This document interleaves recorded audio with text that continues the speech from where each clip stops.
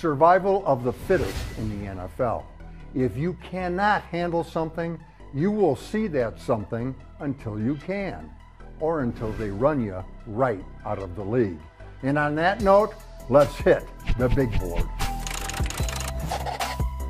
Dean Lowry, Jackson Carman, second round draft choice, and Dean attacks him with what's called a bull rush. Nothing fancy, no moves, just straight power right over the top. And Dean walks him back to the quarterback and bats down the pass. Dean's a smart guy, went to Northwestern, and he knows the shortest distance between two points is a straight line.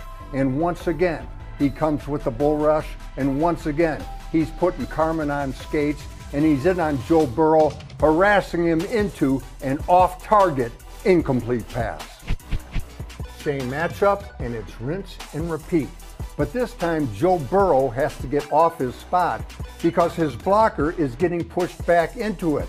And then when it comes time to throw the pass, he's got to avoid his blocker and Dean Lowry's outstretched hand. Not surprisingly, not a good throw. Could have been intercepted, but you get the point. Carman cannot stop Dean Lowry's bull rush, and he knows it. So Carman says, Sorry, coach, I'm going to dump your fundamentals. They're not working. I'm going to get creative. So look how much weight he has forward. Now, you may be able to stop a bull rush that way, but nothing else. Nothing like Rashan Gary looping around on a stunt.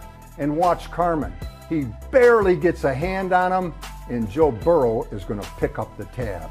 All because Big Dean was all day with his bull rush. Now, this quarterback was, is really good when he has time in the pocket and when he, when he can step up in the pocket. So um, that was my goal to, to get some good interior push and allow our outside guys to really eat. That was a big plan, and I thought we did it um, very well today.